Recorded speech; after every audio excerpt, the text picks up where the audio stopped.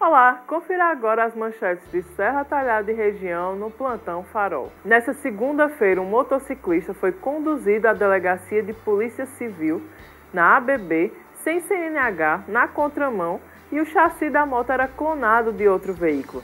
A Polícia Militar está em operação contra as fraudes. Nessa terça-feira 3, a Polícia Civil de Pernambuco deflagrou a Pecúnia 2 para identificar e desarticular uma organização criminosa voltada à prática dos crimes de tráfico de drogas e lavagem de dinheiro. O vereador Jaime Inácio subiu à tribuna para agradecer a Deus após o acidente que seu neto, o Jaiminho, sofreu ao colidir na BR-232 quando seguia para Recife. E nessa terça-feira, Giovanni Sá, no Falando Francamente, conversou com Maurício Melo, o presidente da CDL, sobre o funcionamento do comércio neste Dia das Mães.